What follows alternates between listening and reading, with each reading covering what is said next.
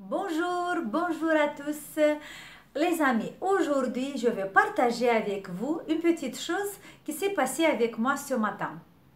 Et là, j'ai dit, je dois impérativement vous dire, peut-être je veux aider quelqu'un. Euh, il y a un mois que je me suis mis un objectif devant, devant moi de faire chaque jour une heure de marche rapide au parc. Euh, vous savez, quand j'étais petite, comme moi, j'étais tout le temps un peu obèse, un peu, un peu gros.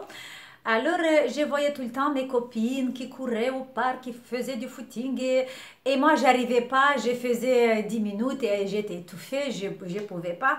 Et j'avais, euh, j'aimais pas du tout la marche rapide, à courir, c'était pas pour moi. Et voilà, maintenant, j'ai dit, il y a un mois, je me suis mis cet objectif devant moi. Je vais essayer de faire la marche rapide, mais très rapide, euh, sans s'étouffer, pendant une heure. Alors ma fille, ma soeur qui est médecin, ils disent, euh, je pense que pour toi une heure ça va être trop, essaye de faire 30 euh, minutes parce que pour tes articulations, moi j'ai un problème d'arthrose quand j'avais 27 ans, j'étais opérée d'arthrose au genou. En fait, pour les genoux, la course c'est pas bien, mais la marche ça peut être bien. Et là, j'ai voilà, j'ai commencé à faire. Les premiers quatre jours, euh, ça a commencé à faire très mal au genou, euh, mal au bas du dos, mais je faisais une heure. Ma soeur, il m'a dit attention, tu peux te faire du mal. J'ai dit non, je veux quand même expérimenter pour voir qu'est-ce que ça va se passer pendant une semaine. Et un but de la deuxième semaine déjà, euh, j'avais pas mal au genou, pas mal au bas du dos et je commençais à, à sentir un peu de plaisir. Pendant la troisième semaine, j'ai commencé à avoir du plaisir euh, de faire cette marche et euh, j'ai de la chance d'habiter à côté du parc du Sceau. Peut-être vous la connaissez, c'est un très grand parc euh, d'Europe. et il y, a y a des parcours sportifs. Et il y a beaucoup de monde, c'est vrai qu'il y a beaucoup de monde, surtout le matin. Mais moi, je ne suis pas une personne, j'aime pas me lever le matin, mais je suis obligée à me lever.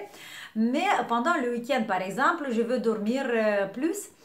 Et pendant, voilà, euh, aujourd'hui, j'ai un mois. Et pendant un mois, c'est que quatre jours que j'ai pas fait euh, cette marche parce que j'avais un problème. Peut-être un jour, je vais vous raconter ce problème qui, qui m'est arrivé aussi. Et je pouvais pas aller. Mais les, les autres jours, voilà, 26 jours, j'ai la marche pendant une heure. Et ce matin, euh, parce que je fais tout le temps le parcours euh, sportif pour aller et venir, je rencontre des personnes là, mais je connais personne. Et quand je faisais le retour déjà, j'étais très très fatiguée. Et quand j'arrive au bout comme ça de, sortir de cette, euh, de cette trajet sportif, j'ai commencé à marcher un tout petit peu plus lente parce que j'étais très fatiguée, j'ai respiré profond. Et là, je vois une personne, une, euh, une monsieur qui, venait, euh, me venait en face, en courant. Et c'était pendant une seconde qu'il est passé à côté de moi. J'ai même pas, je me rappelle même pas son visage, mais et quand il m'a vu que je commence à ralentir, quand il est arrivé à côté de moi, il m'a regardé, il m'a dit Ne lâchez pas. Il, il est parti. Ne lâchez pas. Et là, vous savez, c'était un mot, une petite phrase de quelqu'un que je ne la connais pas. Je même pas, euh, euh, je me rappelle même pas son visage. Je me rappelle seulement l'expression de son visage avec de sourire et les mots ne lâchez pas. Et dans ce moment, j'ai eu une force. C'était un encouragement aussi fort pour moi que ça m'a donné la force et j'ai commencé tout de suite à marcher, à marcher, à marcher. Et je ne me suis pas arrêtée jusqu'à la maison. Encore 20 minutes, j'ai bien marché et j'étais tellement content. Et j'ai dit, regarde, mais c'est vraiment une personne que je ne connais pas. Peut-être je ne l'ai l'ai jamais vu, je le, je le verrai jamais. Mais une personne qui pendant un seconde, elle est passée à côté de moi et c'était suffisant qu'il m'ait dit un, mot d'encouragement. Et là, encore 20 minutes, j'étais plein de force et j'ai marché, j'étais très content. Et j'avais ça dans la tête, je dois partager ça avec vous. Peut-être quelqu'un va pas aimer cette vidéo. Peut-être quelqu'un va dire non, c'est n'importe quoi. Mais pour moi, c'était une, une énergie intense. Et là, mon message d'aujourd'hui, ne lâchez pas votre objectif. Mettez-vous dans votre, devant vous un objectif, n'importe quel objectif. Et essayez de, de le faire jusqu'à la fin pour être fier de vous-même. On s'en fiche des, des personnes qui... On ne le fait pas pour les autres vous le faites pour vous-même. Par exemple, un petit objectif, de pas boire, de prendre le café sans sucre, par exemple, pendant un mois ou pendant 22 jours. Vous savez la force de 21-22 jours que le corps commence à s'habituer.